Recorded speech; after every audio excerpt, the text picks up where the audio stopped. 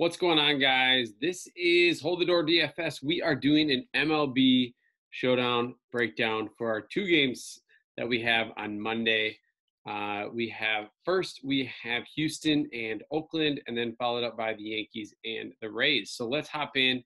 Both of them are slates that I love because the starting pitching is pretty good. So the first game, as you can see on my screen, uh, is going to be uh, Houston against uh, Oakland. Lance McCullers on the mound against Chris Bassitt. Uh, Oakland is a small favorite here, over under eight. So we're expecting a little bit more runs here than we're going to see in the second game.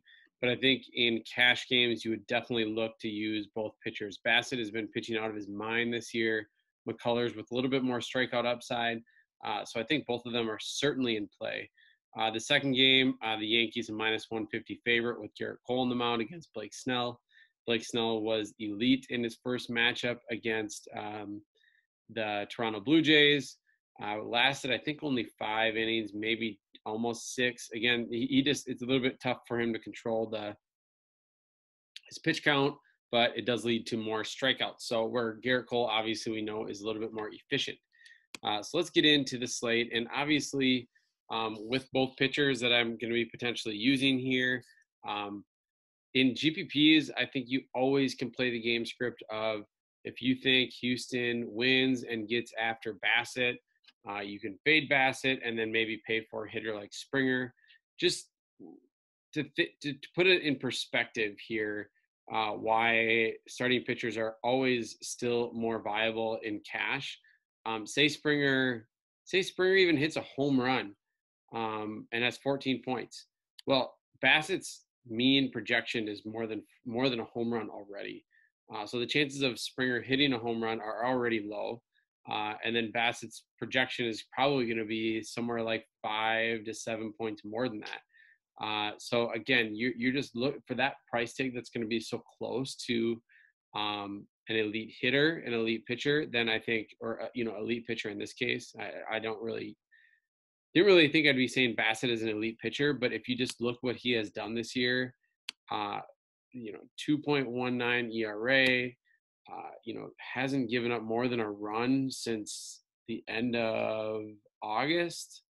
Uh, that was like his only short outing, and actually it was against Houston, but then followed it up with a shutout performance with four strikeouts in seven innings, 23 DK. So uh, he's been over 20 points in one, two, three, four, five games in a row, and you know, and did it in the first in the playoff game against the White Sox. Six, seven innings, one earned run, five strikeouts. So you're not gonna. I don't expect to see a 10 strikeout game. I don't even really expect to see over five, honestly, against Houston, in this lineup doesn't strike out a lot. But I think he can get outs. I think at 11,000, he's still definitely in play. Uh, Lance McCullers has had a little bit more of an up and down season. Came back from the injury, uh, had is, but has had some really good starts as of late. Uh, and the strikeouts are there nine, seven, eight. Uh, I know the opponents were pretty weak in terms of strikeout, but there's no way I'm fading McCullers in this matchup. So um, if I just like plug in even Bassitt is the most expensive and down to McCullers, leaves me about uh, a little bit under 6,000 left per player. So I do want to just touch on some of the guys that I like that are cheap. Uh, I think Michael Brantley at 6,000 is going to be one of my first hitters in, probably hitting a three or four hole. 6,000, a little less home run upside, but a lot of a lot of really good contact.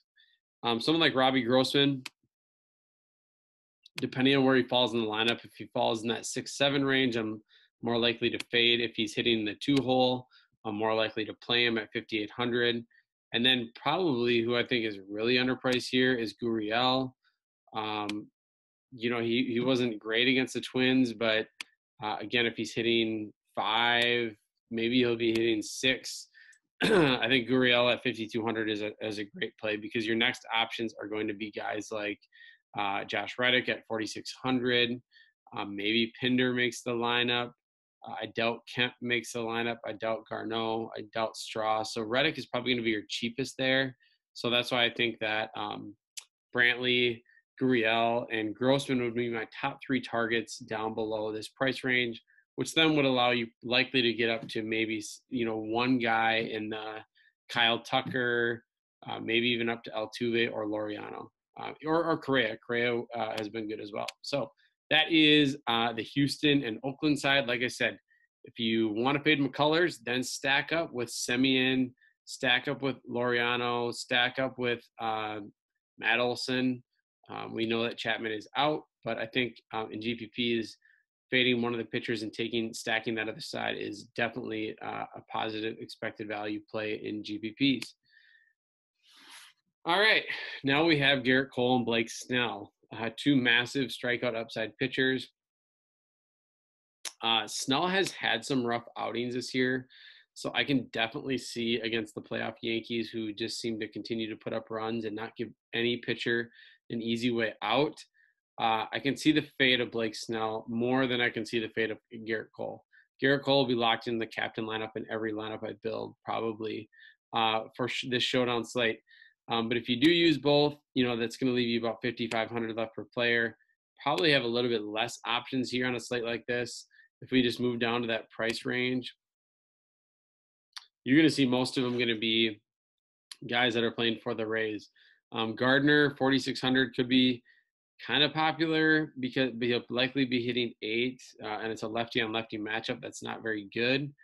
Uh, depending on who they start at catcher, uh, we could see uh, I think it's Higashioka, uh, maybe against a lefty. Otherwise, we might see uh, Gary Sanchez, who I think is way overpriced. Yeah, eight thousand. He's been hitting the nine hole, but uh, otherwise you're gonna have to live and die with some of these Tampa Bay hitters. Uh, like Ji-Man Choi has absolutely had Gerrit Cole's number all year. Has hit at least two bombs off of him, so I really like him. I assume he'll make the lineup against Gerrit Cole. Yandy Diaz is in or out, but if he does make the lineup, he's usually in the three or four hole. Uh, same with Yoshi. Yoshi could definitely see the lineup at 5,600. So, you know, you might be stuck with a group of these three guys, depending on who they use in the DH, uh, with maybe Gardner being your one one off. You know, I, he's viable. It's just, it's going to be tough if you use both pitchers and Gerrit Cole and captain but that will be the chalk build in cash. So if you're looking, look at all the sharp players, the high stakes cash players for MLB Showdown. Almost 90% of the time they're using both starting pitchers, even if the starting pitcher is like average, because if their median projection is 10 to 15, that's still potentially uh, a home run needed from a hitter. So obviously there's downside if they get smashed, but um, I don't see Gerrit, that happening to Gerrit Cole here, and I think there's too much strikeout upside for Blake Snell to fade in cash. So hopefully this gets to give you uh, kind of the lay of the land for the two showdown slates. Uh, if you're playing the two gamer, I would start with Gerrit Cole and then probably pick a side of Bassitt or McCullers. Uh, or if you just want to game stack the hitters in the first game and then use the pitchers uh, for the second game, I think that's certainly viable as well. All right. Uh, again, I appreciate you guys checking in with the MLB Showdown. If you have not checked out my NFL Showdown uh, video for tonight or Gators uh, week five, week four recap on his on his NFL content, make sure to check that out. Give them give all the videos a like. Like I said, it costs you nothing to subscribe or give a like or give a comment, but it helps us out a ton, and we really appreciate that. We have a lot of free rooms at uh, Fantasy Sports Insight, which include EuroLeague right now, Monkey Knife Fight. Uh, we have esports is free, and we want to be able to keep all those rooms free. And what helps doing that is supporting our YouTube channel. So thanks a lot, and I will be signing out.